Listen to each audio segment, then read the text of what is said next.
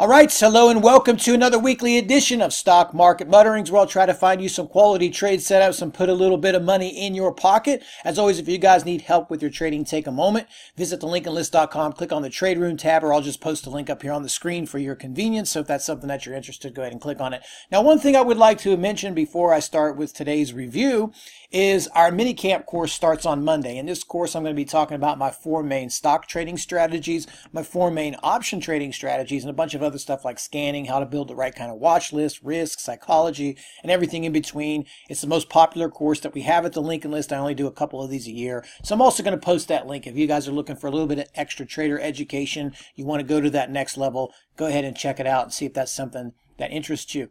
So we'll talk about the market here first because now it has broken yet again another level to the upside, albeit moving like a turtle and some of the action is extraordinarily slow throughout the days, but you're just within 1% of all-time high. So here we go back to, you know, just a few months ago there, 20% or more correction it was in the market, a pretty hefty sell off into Christmas Eve. But since that moment here, now we find ourselves just a few ticks away from all time highs. This just continues to be the theme over the last few years in the market. Every time you get a correction, it's immediately followed by all time highs, or it feels that the market just beelines right back to it in, in, in a roundabout way. So we saw that with Brexit. We saw that with the election. We saw that a couple years ago. I think it was 2012 or 2013. I can't remember off the top of my head. But here we are again, just a few ticks away from that. Now, when I ask myself the question, what could possibly de- deter this? What, what, what could come up that could stop this thing from eventually finding its way there?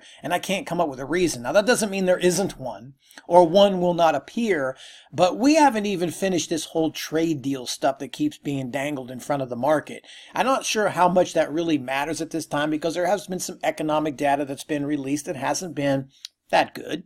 You know, some of it's been disappointing, some of it has been good, but it doesn't matter. You know, some of these companies guided lower during their earnings last last quarter doesn't seem to be bothering anything. Whatever comes by, it just seems like the water off the duck's back. It keeps just rolling on up and finding a way to go up. And I imagine it will hang there until this trade deal is finally done or something is done. And you'll get a pop to all time highs or through all time highs, depending on the timing of such an event. And then we can kind of go from there.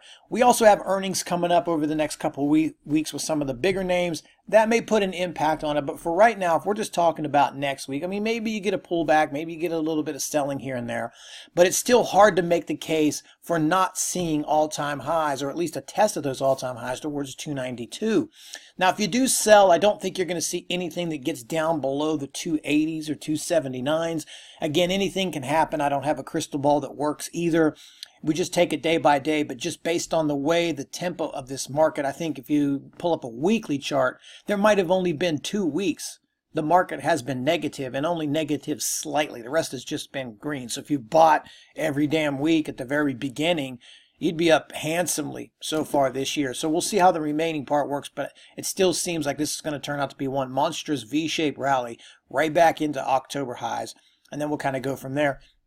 Now we have some individual setups that, that look interesting, some things that look like they're ready to also break some range, and there are some short trade ideas here too. Although the shorts just have been extremely stingy because I think we've lost a lot of volatility here, and even the stocks that are overbought just sort of trickle down slowly or just kind of camp out up towards their highs.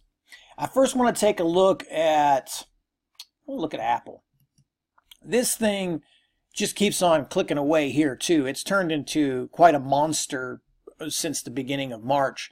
It just keeps going and going and going. Now you had this pretty big ramp up, and we talked about a lot of these FANG names like Facebook and this one needed a, a, rest. We talked about Netflix and those. And they did get that. They pulled back into their moving average, nice orderly pullbacks based here, and now they've kind of slowly grinded up. The ones I'm looking at here are also lined up on the daily. So you're going to take a look at this real close. I'll lay this right on top of it. Where it closed on Friday is just right there at a, another daily chart range break. Above this, if it's able to trade above this, hold this level throughout the week, test this level, you know, you don't have anything really until you get into the gap right here from November, which is 204 and then somewhere towards 211. So you might very well see this thing move into $200 before the week is over. One of the things I mentioned about these, excuse me, is that while this market originally made a very strong rally, and if it first had that throughout January, February, it was a lot of these FANG names like this one that were left behind. And I say left behind that yes, they did bounce from their lows, but they did not even come anywhere near where they were trading at October. So when you go back and you look at the market making its way back to October highs, there's a lot of these stocks like this, they're not even close to October highs. Like this is one of them. I think Facebook might be another one. Don't quote me on that. I'll pull up the chart. But you know, these things still have ranges to get back up there. I, th- I think you're going to see a cycle of money pull back in there. Nonetheless, watch this. I think you're going to see a $200 run here pretty soon on that one. Another one that kind of has that same look and feel to it, maybe not, maybe not the same feel, would be the old King, King Baba, one of my favorite stocks to trade, Baba. And, you know, this thing is kind of doing its thing as well. It had a couple of days pulled back, bounces off the moving average right there. And then, you know, it's just, it's kind of laying right here to what appears to be a triple top on the daily. So if you get a nice move above 186, again, you're, you're going to see, a, I think, a pretty big range break. The reason for you go back, you have some resistance that dates back to August's high. So this is going to be something that really clears a longer piece of resistance and you, are pretty you're pretty clean all the way up to maybe 199 to 200 on this. So there's two stocks right there. There's trading up towards the 180s, Baba and Apple, that look like possibly 200 is is on the table here in the near future. So watch those two. Now there's also a short idea here. I'd like to, you know, again, I, I have some short ideas, but to be honest with you, I just not really have done much shorting at all because they just don't seem to be giving up much of their gains. But I want to take a look at Baidu. And there was a lot of, one, one thing I mentioned, Baba, is there was a lot of strength in the Chinese stocks. You saw stuff like Bizun and WB, those other types. Everything was running. This Baidu was running, and Baba was just kind of sitting there for a couple days before he got going.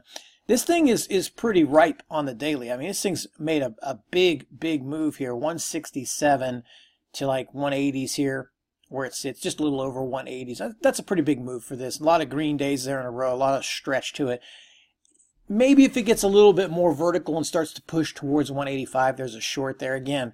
I'm really kind of backed a little ways off of the shorting, especially in these names, because it just doesn't seem to favor that. Even the ones that do pull back or you get some really hefty selling in like a shop or something, they don't last very long. So unless you get the perfect entry you seem to always be struggling with that. And then most of them, even when they sell off or they pull back, it's a slow procedure and it's not really pulling back that deeply as far as price. So they're running 10 $12, pulling back one, running six, seven more dollars, pulling back one, and that sort of thing. And it just seems, unless your, your timing is absolutely spot on, you're struggling to get some of these to give you the kind of value that you need where the risk to reward is favorable. So maybe. You never know what can what can change in the market. You know, it might go through sell-off period, or correction period. You just you just never know. You need to be prepared for both sides. So maybe maybe Baba uh, something there. And then the last I think I'll throw in this W day. There was a I, I think you're going to see a, a nice little shorter term bounce in the, in these names, um, especially if they can follow up with a little. I was kind of looking for a little more flush on these Friday to get long some of these.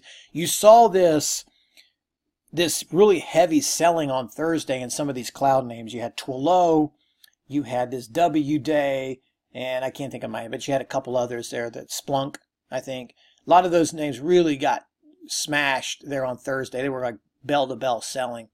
I kind of wanted that to continue early on Friday and then try to pick them up though, but they just sort of like stopped. And again, this is what I go back to talking about shorting stocks in this market right now is that you get that move and then instead of following up with a little more panic or a little more selling everything just it just stops you know and you you, you just yeah that's it it just it just stops so I think you're going to see a bounce on these. I would obviously like a little bit more. You can see where I've got some support lines drawn on this one. I think 179, 90 area right there would have been a good pickup or somewhere down in that support. I just got an X drawn on there where I think is a really limit down spot I wanted to get long, but it doesn't look like any of those are going to play in there.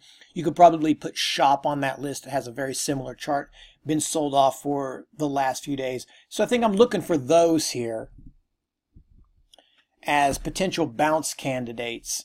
you know, after they, they, they finally got shaken down a little bit. Again, these are really, really strong stocks, have been in an, incredible uptrends, and now you've gotten a pretty thick pullback. I'd like to see a little washout zone and then get the opportunity to kind of possibly long some of these. Anyway, we'll see how that works out. As always, if you guys need help, you know how to reach out to me. Don't forget about minicamp that starts on Monday.